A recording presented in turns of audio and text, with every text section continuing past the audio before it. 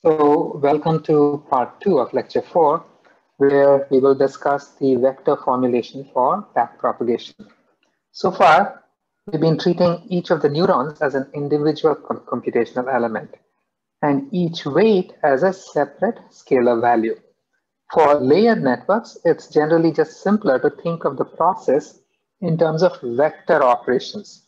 The arithmetic is simpler and we can take advantage of fast matrix libraries and GPUs to speed up the computation a whole lot. What this means uh, is that we can restate the forward and backward processes in terms of vector operations. And in fact, this is what any real system implements. So let's see how this can be done. When we have a layered network, we can represent the variables associated with the layers as vectors and the weights and biases as matrices. We'll assume a column vector notation throughout. So unless I explicitly state otherwise, vectors are column vectors.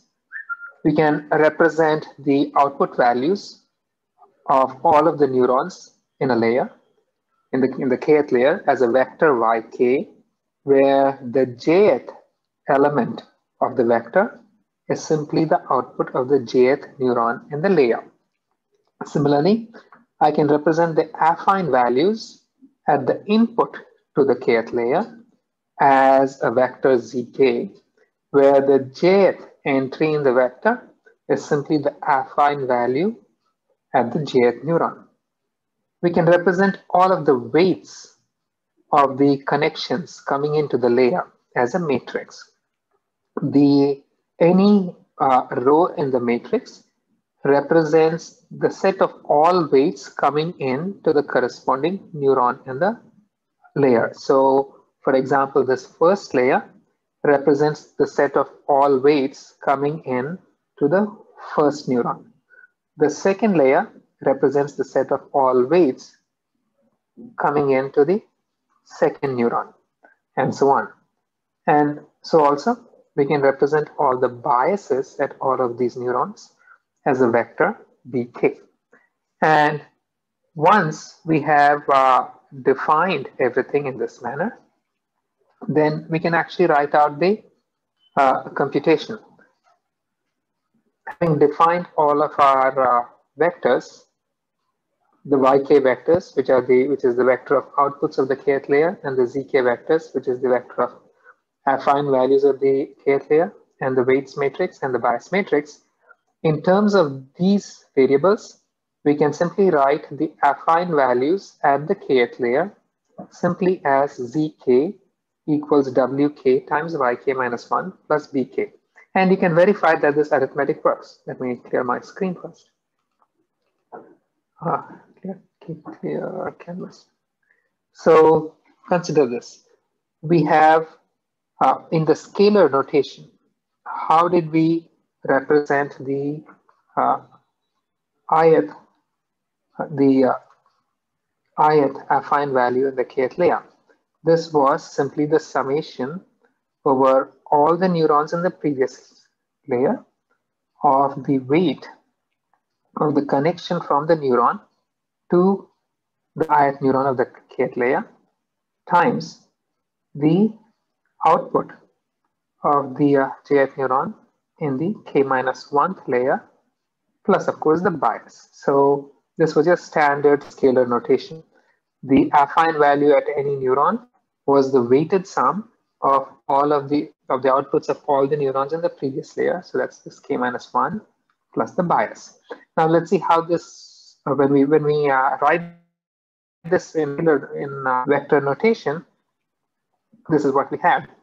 We said zk equals wk times yk minus 1 plus bk. Let's write this out. So consider the first entry of zk. This is going to be the product of the first row of wk, which is w11k, w21k, w31k, and so on. And the vectors in the k minus the uh, the uh, uh, vector of outputs from the k one layer plus of course the bias term which is going off my screen. Now let's expand this out and if you expand it out you're, going to get z, uh, z say 1k is going to be w11k times y1 k minus 1 plus w21 k times y2 k minus 1 and so on plus the bias term which is off the screen which is going to be b1 of k. And so if you compare this equation to what we had in the scalar format you're going to see that the two are the same so we can verify that this equation indeed does compute the correct affine values at the kth layer and to compute the output of the neurons in the kth layer, we just put these affine values through the activation function for the kth layer, and we get the output of the uh, kth layer. So uh, having vectorized everything in this manner, now here is the vectorized version of the forward pass. As an initialization, we first set the uh, zeroth layer value y0 to the input. This is just initialization. Then we compute the affine vector at the first layer as the as uh, using this affine equation, which is the weight matrix for the first layer times the output vector for the previous layer plus the bias of the first layer. And then uh, once we compute the affine values, we just put these affine values through the uh, activation function for the first layer to get the output of the first layer. By the way, you're going to see an equation expanding out at the bottom. Ignore it. This is merely meant to explain to you, if you go, if you look at it carefully, that the neural network is in fact just a nested function. Um, this is somewhat of an aside. Let's just focus on what's happening over here. So we see how we can compute the output of the uh, first layer. Then we can compute the affine value at the second layer, W2 times Y1 plus B2. The weight matrix for the second layer times the output of the first layer plus the bias for the second, second layer. And then we can compute the output for the second layer by simply applying the activation function for the second layer to the affine vector over here. And we can continue to perform this, these computations going left to right until we uh, eventually get affine combination at the output layer to which we will finally apply our final output layer activation to get the network output. Now observe that when we write things in this manner, we're speaking of applying regardless of the layer we are speaking of applying an activation function to a vector and obtaining a vector. So this entire, this representation is kind of agnostic to whether these activation functions are scalar, acti uh, just a collection of scalar activations, like applying uh, uh, individual ReLUs to every layer, or if it is a vector activation, like a softmax. As far as the uh, uh, mathematical representation goes, it does not change. So the entire forward pass simplifies to this. You initialize the zeroth layer value as the input. Then you iterate through the layers. At each layer, you first compute the affine vector, zk, through the simple affine relationship, the weight for the layer times the output of the previous layer plus the bias. And then you compute the output of the layer simply by applying the layer activation to the affine vector. The output of the entire network itself is simply the output of the final layer. So here is the pseudocode for the forward, forward pass in vector form. We initialize y0, then we iterate through the layers, and we iterate through the layers and at each layer, we first compute the affine vector using this formula. And then you pass the affine vector through the activation function for the layer to get the output of the layer. and the output of the network itself is simply the output of the final layer. And you can see that this uh, vectorized form of the forward pass is much cleaner and much simpler than the uh, forward computation we had when we were thinking of it in terms of performing the computations for each neuron separately when we were doing it in the scalar format.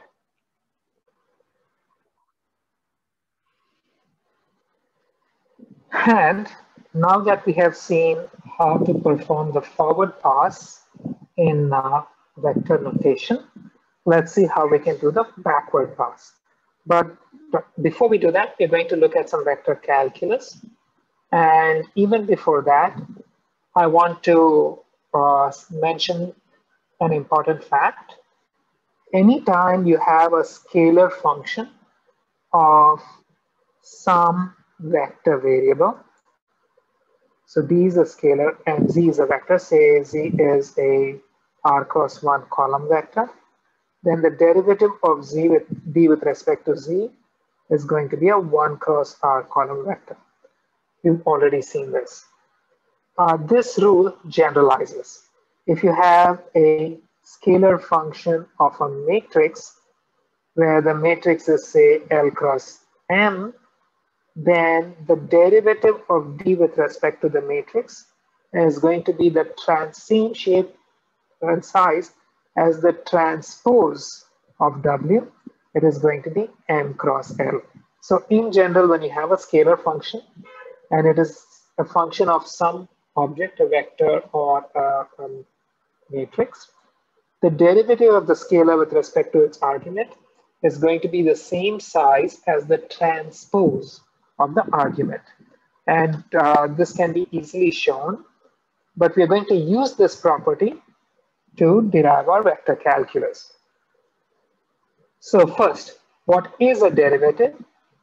Remember this, a derivative is a multiplicative factor that multiplies a perturbation in the input to compute the corresponding perturbation of the output. Uh, we've seen this earlier. So if I have some function y equals f of z, then the derivative of y with respect to z is this term, which multiplies delta z to give you the corresponding delta y. Now this rule is generic. It holds regardless of whether these arguments are scalars, vectors, or matrices. scalars or vectors. So uh, now, or in fact even matrices, but there it gets a little complicated. Anyway, so in the uh, case of scalar functions of vector arguments, we've already seen that delta y equals derivative sometimes delta z holds. And so if z is a r cross 1 vector, this derivative is a 1 cross r row vector. And the transpose of the derivative we saw was called the gradient of y with respect to z. Now, if you have a vector function of a vector argument, so now y is an column vector, say an m component vector, and z is also a vector, say a d component column vector, then too this property holds. Delta y is going to be the derivative of y with respect to z times delta z. And immediately you can see how the dimensions fit. Delta z is going to be, uh, this one is going to be uh, b cross 1. Delta y is going to be m cross 1. So clearly to make this fit, this derivative has to be m cross d. So the size of the derivative is going to have, it's going to have as many rows as y, and it's going to have as many columns as the number of rows of z. This, this derivative, when y and z are both, are both vectors, then this derivative is called a Jacobian. Now, a little more on this. Uh, the uh, uh, the uh, Jacobian specifically has this form. The way to think about the Jacobian is to say that each row of the Jacobian is the derivative of one component, component of y with respect to the vector z. And so from that, it follows that the Jacobian is going to have as many rows as the components of y. And furthermore, because the derivative of any y any component of y with respect to z is simply the row the row of partial derivatives of the corresponding y with respect to these z's. So each row of the Jacobian matrix is going to have is going to be a row of the partial derivatives of the corresponding y with respect to the entries of z. So that is the Jacobian man, Jacobian. And now, uh, when you think of neural networks, for a neural network, let's say you have scalar activations in a layer. That means that you have uh, uh, each neuron operates on a single affine term to compute its output. So each neuron operates on just one single affine term to compute its output. And so uh, this means that the derivative of this output with respect to the corresponding affine term is going to be non-zero, but the derivative is going to be zero for all of the remaining terms, remaining affine terms. As a result, the Jacobian matrix is going to be a diagonal matrix where the off-diagonal entries representing the derivative of, of the y's with respect to the remaining z's are zero. And the diagonal entries themselves are the derivatives of the activation function for each z. So this is for when you have a scalar activation function. Uh, when you have a vector activation function, then the Jacobian matrix is going to be a full matrix where each row is going to be a row of partial derivatives of the y with, with respect to the corresponding z. Now, there's one more special case, affine functions. So let's say you have z equals wy plus z plus b. I've written this as z of y to indicate that z is actually a function of y. But then over here, it's very easy for us to verify, right? z is a uh, z equals wy plus b.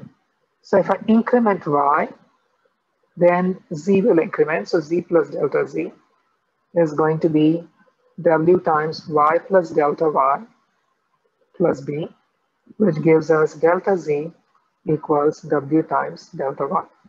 So in other words, the derivative of z with respect to y is simply going to be this matrix w. And using the same logic, if I increment b rather than y, then z plus delta z is going to be wy plus b plus delta b, which tells me that delta z equals delta b, which tells me that the derivative of z with respect to b is simply the identity matrix. And so for this affine function over here, the derivative of z with respect to y, which is the Jacobian of z with respect to y. Observe the notation here, by the way. Uh, the notation I'm using for the Jacobian is somewhat inverted with respect to this inverse triangle notation. This is to indicate that this is actually a function of the specific position at which the derivative is being computed. So the derivative of z, which is in the subscript, which is with respect to y, which is in the argument. Anyway, the Jacobian of z with respect to y over here is simply going to be w, and the Jacobian of z with respect to b is going to be the identity matrix. Now, uh, let's consider the chain rule. In general, if you have a nested function, y equals uh, some y of z of x, where y may be a scalar, z may be a scalar or vector, x may be a scalar or a vector, then what is the derivative of y with respect to x? The chain rule states that the derivative of y with respect to x is the derivative of y with respect to z times the derivative of z with respect to x. Note the order over here. So the derivative of y with respect to x is the derivative of y with respect to z times the derivative of z with respect to x.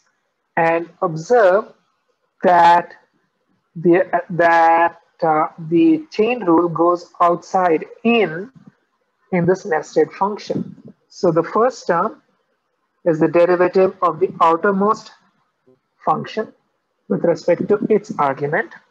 The second term is the derivative of the inner function with respect to its argument. So the chain rule always goes uh, outside in. Now, we can verify this. So uh, I can write, let me write this on a whiteboard. I have y equals y of z of x. So I can write this as y equals y of z and z equals z of x. Then using our derivative rule, delta y is going to be the derivative of y with respect to z times delta z. And similarly, uh, delta z is going to be the derivative of z with respect to x times delta x. So replacing this guy here, you're going to get delta y equals delta z, the derivative of y with respect to z times the this is the inverse triangle times the derivative of z with respect to x times delta x. And so uh, now remember the derivative formula. The derivative of y with respect to x was this term, uh, nabla by x times delta x. And so comparing these two, you can see that the derivative of y with respect to x is simply the product of the derivative of y with respect to z and the derivative of z with respect to x. So uh, arithmetically, you can show, you can verify that this, this chain rule relationship holds. But then there's another way of verifying it, and you can verify it via the dimensions of the variables. They must match. So let's do this for two special cases. First, consider the case where uh, all the variables are vectors. So y is, uh, is, a, is a vector, z is a vector, and x is a vector. Now, uh, let x be a vector of, say, dimension m, right? And uh, let's now, let, so let z, the output of z of x, be a vector of dimension m. Then, and let y be a vector of dimension m. Then z and x are vectors. So the derivative of, z, okay, first let's consider the relationship between, direct relationship between y and x. Using the rule that we saw earlier, the derivative of y with respect to x must be an n cross L matrix. But then z and x are vectors, so the derivative of z with respect to x, this one, this term, is an m cross L matrix. And the derivative of y with respect to z, where y and z are vectors, this term is going to be an n cross m matrix. And so the product of the two is going to give you an n cross L matrix, which is the correct size as this guy. So, so when you have a vector function of a vector function of a vector argument, then this relationship holds in dimension wise too. Now, Let's consider a simpler case where you have a scalar function. d is a scalar, y is a vector, and z is a vector. Now here too, uh, again, the chain rule says that the derivative of d with respect to z is the derivative of d with respect to y times the derivative of y with respect to z. So again, observe how the chain rule goes. It sort of goes in from outside. First you compute this derivative and then you right multiply that by the by this derivative. And now let's verify the sizes. So again, if z is say size L and uh, y is say size M, this is a scalar size M, then we know from our derivative rules that the derivative of d with respect to uh, z must be a 1 cross L vector. But because y and z are derivatives, this guy, this Jacob, uh, are vectors, this Jacobian must be size m cross L. And since y is a vector, the derivative of d with respect to y is going to be the same size as the transpose of y. This is going to be 1 cross m. So this is 1 cross m. So this product is 1 cross L, which is the size that we want. And so uh, even in this case, we can verify that the dimensions match. Now, finally, consider the special case where you have some scalar d is a function of some vector n, z, and z in turn is an affine function of y. It's wy plus b.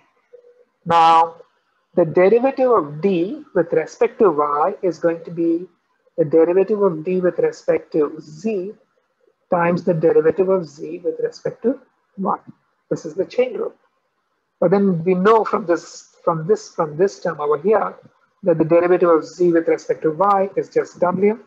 So from here we end up with this equation. The derivative of d with respect to derivative of d with respect to y is the derivative of d with respect to z times w.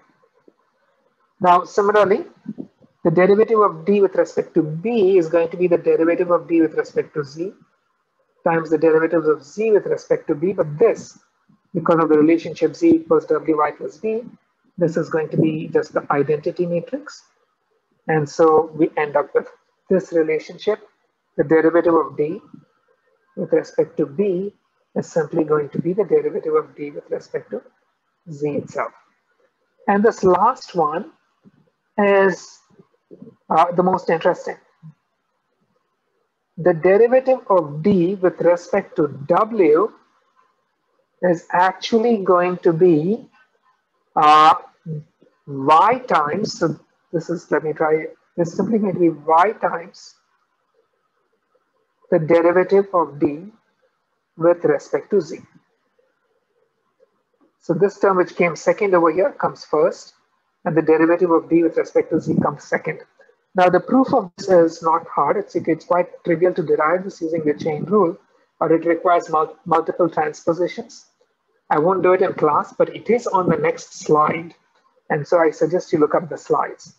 But then let's verify the dimensions, right? So uh, uh, z is an affine, fun affine function of y.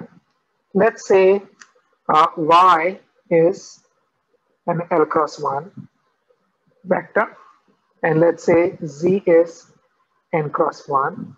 Now this implies that w is n cross n, right? And so this implies in turn that the derivative of d with respect to w must be the same size as the transpose of W. This must be L cross N.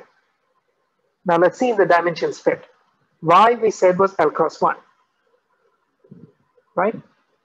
Now the derivative of D, D is a scalar, Z is N cross 1. So the derivative of D with respect to Z is going to be 1 cross N. It's the same size as the transpose of Z. And so when you multiply these two, an L cross 1 vector multiplying a, one, a column vector multiplying a 1 cross n row vector is going to give you an L cross n matrix, which is the same size as the transpose of W, which works. And so uh, the dimensions fit. Now, we've gone through our calculus lesson. So let's return to the backward pass. After, after computing the forward pass, we will have the network output one. From it, we can consider the desired output, which is going to be the same size as y, and we compute the divergence. Now we must go backward through the net and compute the derivatives of the divergence with respect to, uh, to with respect to all the intermediate variables and all of the network parameters. Now in the following slides, I'm going to be using this notation consistently. So, which is the, the inverted triangle or the Nabla notation. So in general, derivative y, z is going to be the derivative of y with respect to z. Derivative divergence, y is going to be the derivative of divergence with respect to y. Derivative divergence, uh, z is going to be the derivative of the divergence with respect to z, uh, and so on, right? So this is the, uh, the, the variable and this is the argument that you're taking the derivative with. And I will use this notation regardless of whether these are scalars or vectors because the notation is generic. But where necessary, I will change it to, the, to a more standard notation. Now, first, we are going to compute the derivative of the divergence with respect to the output of the network. If the output of the network is an L component vector, then this divergence is going to be a 1 cross L row vector. Now, uh, the divergence is a function of the output y. You know, we've, we've got the divergence is basically a function of the output y, and y in turn is a function of the affine input z. So using the chain rule, the derivative of the divergence with respect to the affine input is going to be the derivative of the divergence with respect to y times the derivative of y with respect to z. And the derivative of y with respect to z, of course, this guy is just the Jacobian of the activation function. And so uh, the derivative of the divergence with respect to z is the derivative of the divergence with respect to y times the Jacobian of this activation function. And again, if y is an L cross 1 vector, then z is going to be an L cross 1 vector. So the derivative of divergence, this guy is a 1 cross L vector. If z is an L cross 1 vector, you want this to be 1 cross L. Now the input and output of this activation function are both size L. So we know this Jacobian is L cross L. You can see that the, you can see that the dimensions fit. And now, and so over here again, the derivative of the divergence with respect to y, this term here, was already computed. This Jacobian is the new term that you're multiplying. Uh, I'm sort of I've sort of messed up things over here, so that erase uh, things a bit. And so what you see is this this term here was already computed in the backward pass. This Jacobian is the new term that you're going to right multiply the existing derivative with to get the derivative with respect to the affine term out here. And the new term is right multiplying the existing term. Observe that the new terms will always right multiply. Now we can take a step back from here to here. Now the divergence is a nested function. So the if the divergence is the divergence depends directly on z. So the divergence is a function of z, zn, which is the affine term at the output layer. zn in turn is a function of the output of the previous layer. And so using the chain rule, the derivative of the divergence with respect to the output of the previous layer of yn minus 1 is going to be the derivative of the divergence with respect to zn times the derivative of zn with respect to yn minus 1. And zn, the relationship between zn and yn minus 1, of course, is the one given here. And so zn is an affine function of yn minus 1, which means that the derivative of zn with zn with respect to yn minus 1 is simply going to be the weights matrix for the output layer. So replacing this term here we are going to get that the derivative of the divergence with respect to the, the, the output of the n minus 1 layer is the derivative of the divergence with respect to Zn, the affine term at the output layer, times the weight matrix of the output layer. So divergence, derivative of divergence with respect to yn minus 1 is simply the derivative of that, the divergence with respect to Zn, right multiplied. This is, so this term, we already had this term coming back. So this is the new term that's getting factored in and this new term is right multiplying the existing derivative. And, and so uh, now we can take a further step back. Recall uh, remember that we had a few slides ago, uh, we had this uh, we when you had a function of this kind, the derivative, you know, d is a scalar function of z, which is an affine function of w, then we got these two rules for the derivative of d with respect to w and the derivative of d with respect to b. The derivative of d with respect to b was simply the derivative of d with respect to z. The derivative of d with respect to w was y times the derivative of d with respect to z. So we saw this a few slides ago. And so we will apply that here. So these were the two rules we saw. And just applying this rule over here, uh, we have, we can compute the derivative of the divergence with respect to, to the weights, Wn, this term here. The derivative of the divergence with respect to the weights is going to be yn minus 1, which is the output of this layer, times the derivative of the divergence with respect to Zn. So watch carefully. Again, it's following exactly the rules over here. The divergence is a function of Z. Z is an affine function of Z is an affine function of Y. So the derivative of the divergence with respect to W is Y times the derivative of the divergence with respect to Z. And uh, uh, you can uh, verify the sizes again. Uh, the, if, uh, say, this, if there are, say, uh, some L neurons over here. So, so if the n minus one layer is of size L, and if the nth layer is of size D, then the weight matrix is going to be D cross L, right? because it's going from an L component vector to a D component vector. Now, so this, is it? No, this is L cross one. And this guy, the derivative of the divergence with respect to a D component vector is one cross D. So this product is going to be L cross D, which is the transpose of the weight matrix.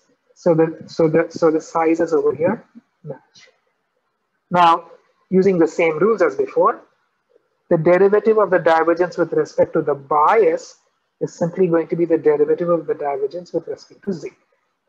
So, uh, so in the process of going back, we can also compute erasing, let me erase all the nonsense and uh, clean up the derivative of the uh, divergence with respect to W. So the derivative of the divergence with respect to Wn is going to be yn minus 1 times the derivative of the divergence with respect to Zn, which is this equation here. And the derivative of the divergence with respect to Bn is going to simply be the derivative of the divergence with respect to Zn.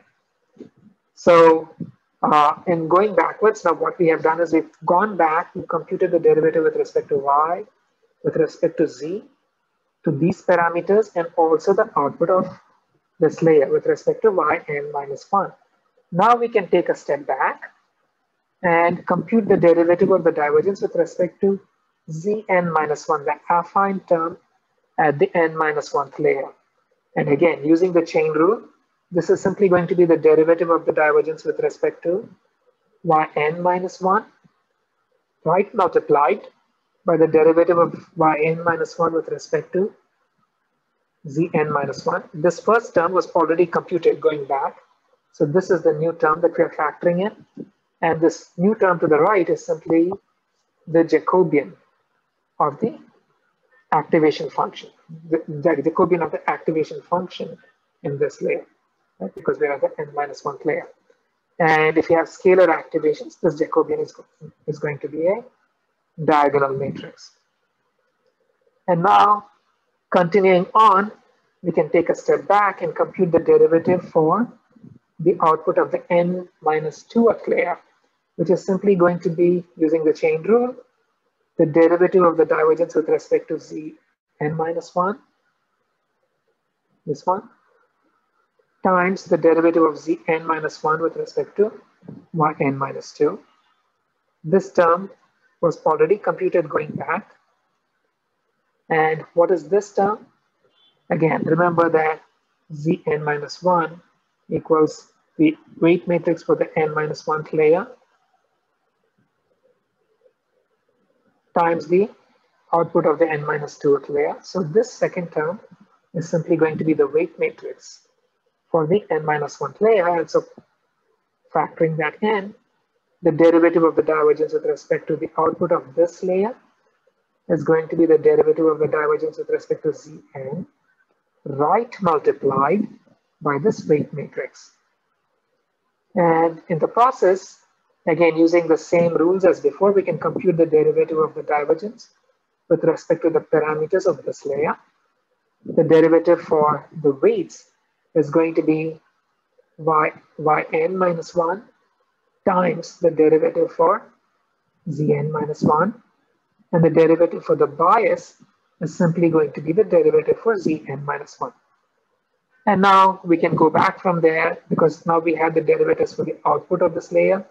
We can go back and compute the derivatives for the affine inputs and then everything preceding it. And you can keep going back in this manner until eventually we work our way to obtain the derivatives with respect to the affine vector for the first layer, which is simply going to be uh, the, the derivative for the output of the first layer times the Jacobian for the activation function of the first layer.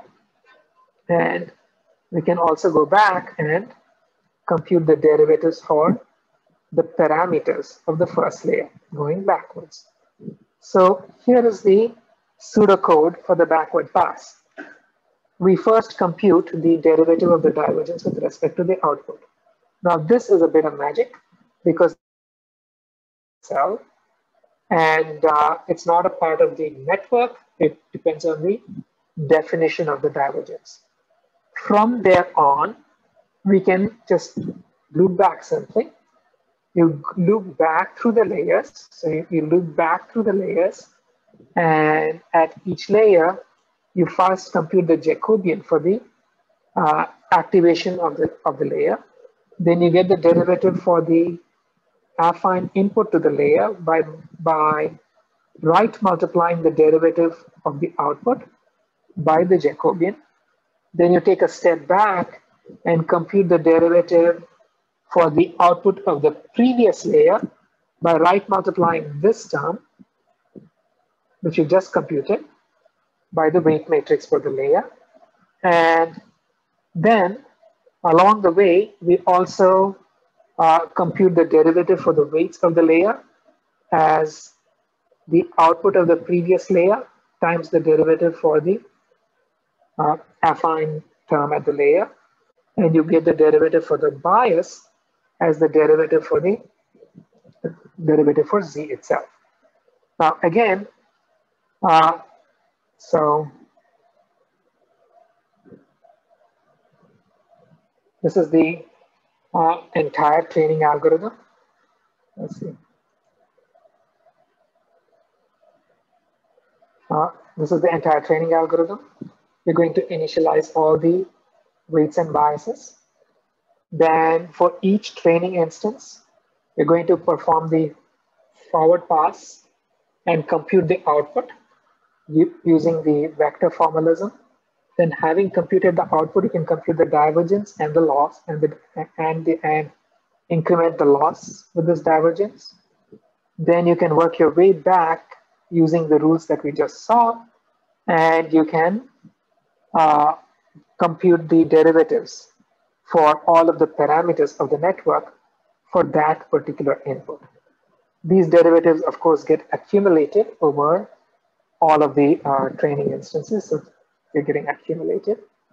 And then finally, in order, in order to update your parameters, you're just going to use the gradient descent rule. This one over t term over here is dividing by the total number of training instances to make sure that the derivative is properly normalized. And so, uh, so uh, uh, now that we've seen how to perform the forward and backward computations and how to compute derivatives for the divergence with respect to all the parameters and how to incorporate them into gradient descent based learning, uh, let's see how we can actually set up for uh, digit recognition. Here's the overall process for a typical problem. Uh, say uh, we want to recognize if a digit represents the digit, Image represents the digit zero or, or a digit two or not. We're going to have a collection of training instances. And for each training instance, we are going to have a label which tells you which, which, will, which will be zero if it's not a two, a one if it's a two. And so our uh, target output is binary. We will set up our network with a single output with a, with a sigmoid activation. We're going to use Kullback-Leibler divergence. And then we'll use back propagation to compute the derivatives for all of these training instances, for, for, for all of these training instances. And uh, finally, update the uh, network parameters with the average derivative over all training instances. And we will keep updating this, iterating this process till the loss converges. Now, if you have uh, a more complex problem where we have to determine which digit the Im image represents, now our network will have 10 outputs, uh, uh, which represents which digit, each, each uh, which is representing the 10 digits. Uh, and then uh, the output layer of the network is going to have be a softmax. So these outputs are going to be the probabilities of the digits. Our training data itself will have labels of this kind where for each training instance, we'll have a label indicating which digit it is, which is, which is the class. Now, uh, for actual training, we are going to be re representing these using one-hot representations. And then we can compute a divergence between the output and the uh, one-hot representations for these labels. And now to train the network, we do a forward pass through over all of the training instances, compute the divergences, do a backward pass, compute all the derivatives, aggregate the uh, backward pass using back propagation to compute the derivatives. In a problem like this, the divergence that you use will itself will typically be the KL divergence. And then once you've computed the derivatives for all the training instances, you will use the average of all of these derivatives in your gradient descent algorithm to update the parameters. And so the story so far, neural networks must be trained to minimize the average divergence between the output of the network and the desired output over a set of training instances. We will usually perform minimization through gradient descent. The gradients of the divergence for any individual training instance with respect to network parameters can be computed using backpropagation. Backpropagation in turn requires a forward pass of inference to compute all intermediate variables and the output, and a backward pass of gradient computation. And the computed gradients can now be incorporated into gradient descent. And so, and so uh, uh, we have uh, sort of laid out how the entire training formalism works with back propagation. The next thing we will have to consider is how well does it work? Does this entire, uh, you know, we've actually used, we haven't trained using back propagation. You must be clear. We are training using gradient descent. We are using back propagation to compute the gradients. So the real issue we're asking is how well does this gradient descent perform? Does it converge to the correct, correct solution? Or, or does it on is the correct solution for gradient descent the one we actually want? Turns out that is actually a question to be asked. And when it does find the solution, how quickly does it get there and can we improve it? And since we are talking about a loss which is decided, defined only over the training and the set of training instances, will the uh, network that we learn to fit the input output relations for these training instances generalized to data outside the training set. And what does this output really mean? I mean, all of these intermediate variables and the output of the network, how do we interpret it? We will look at all of these questions in the, uh, in the uh, next few classes. So that is the end of part two of lecture four. Thank you for listening.